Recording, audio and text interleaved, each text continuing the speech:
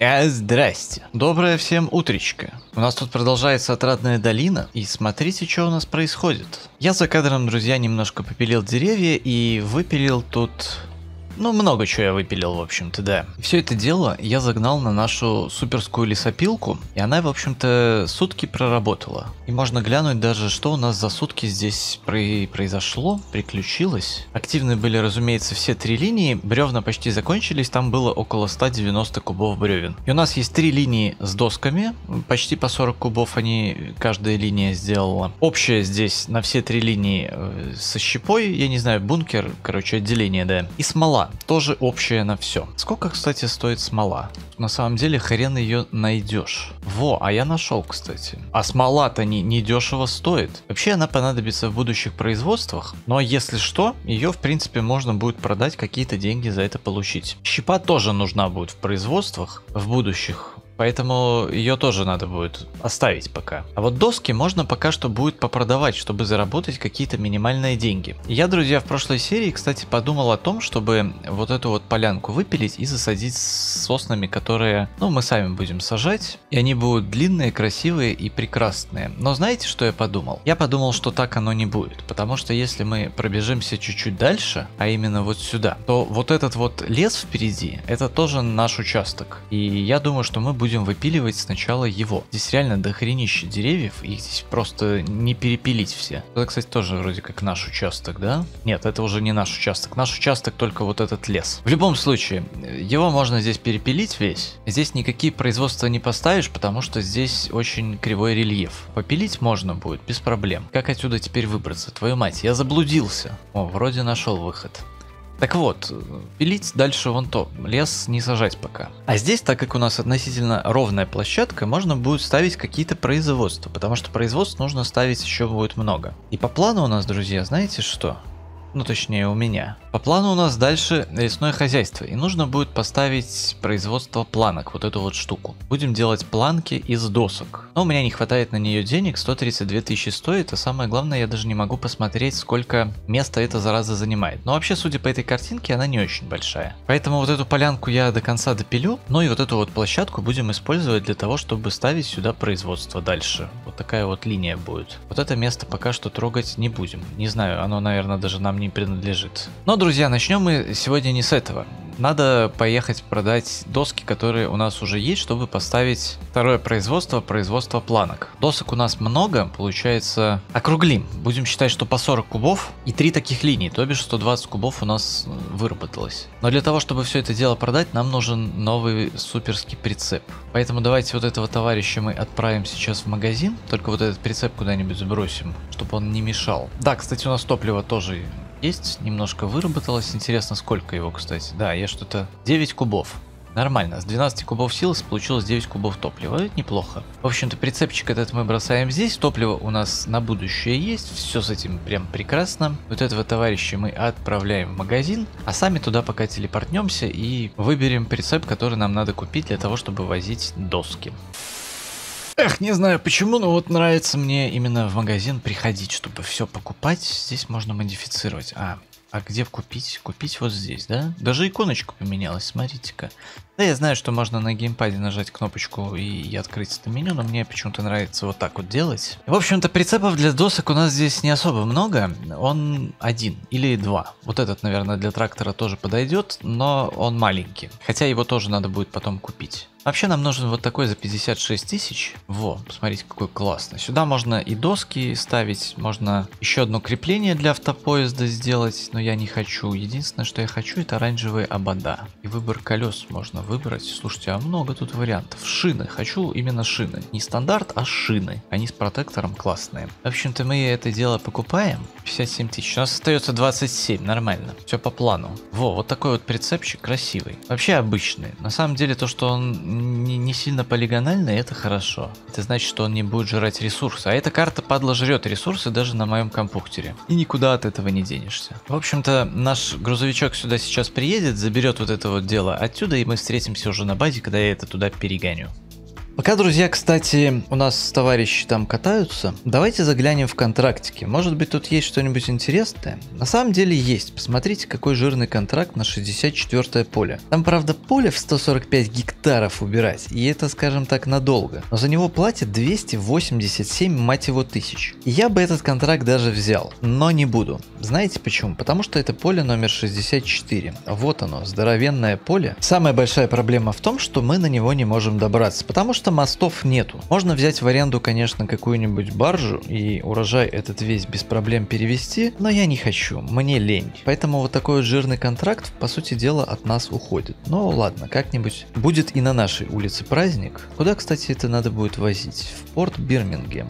Нет, это вот сюда, сюда он просто не доберется. Брать в аренду баржу, которая для зерна, что тоже можно было бы в принципе сделать, мне не очень хочется. Но можно найти какой-нибудь контрактик, например, вон на хлопочек есть контракт, поле номер 60. Оно находится у нас на центральном острове, поэтому мы в принципе можем его взять, оно не такое большое по размеру. Но и награда тут на самом деле не такая большая, чтобы с этим всем париться. С учетом аренды техники мы останемся ни с чем.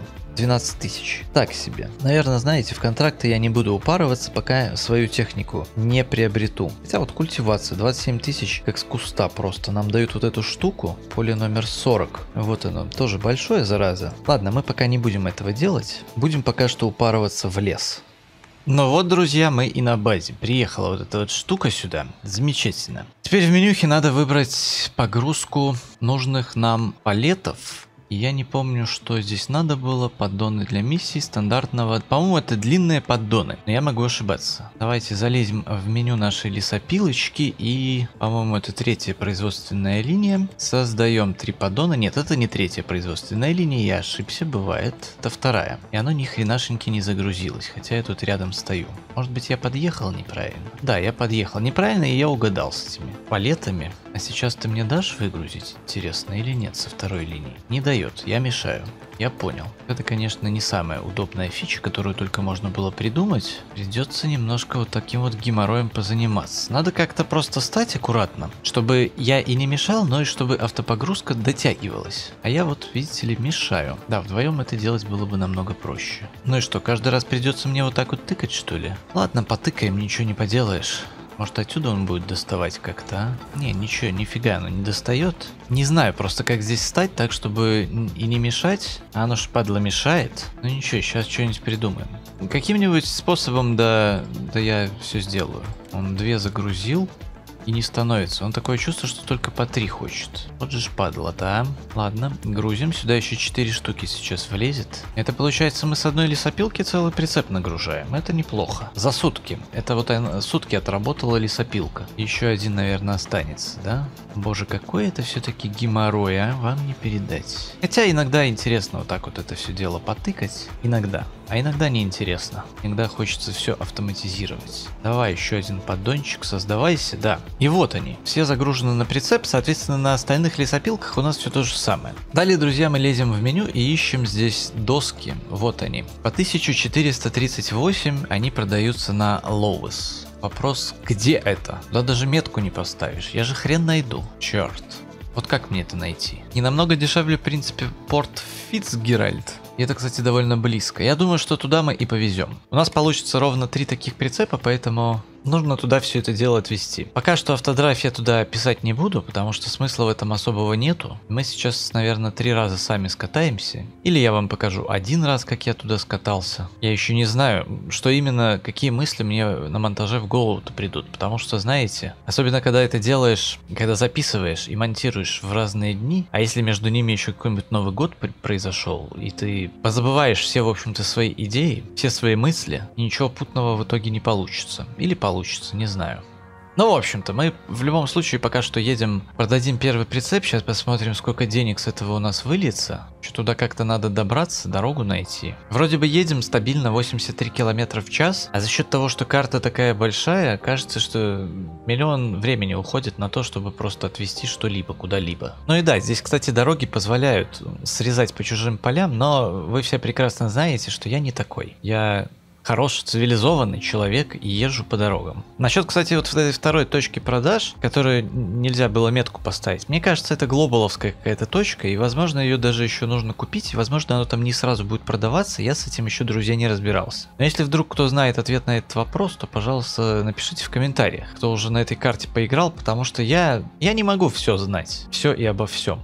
И, друзья, мы лезем с вами в меню, потому что я не смог посмотреть, сколько же в сумме у нас денег-то за это пришло. Доходы от продажи урожая. 57 тысяч у нас получилось с одного прицепа. В общем-то, я тогда сейчас по-быстренькому съезжу, привезу еще э, два таких прицепчика, и, и мы с вами посмотрим, что мы будем делать дальше, куда мы будем тратить денежки и так далее.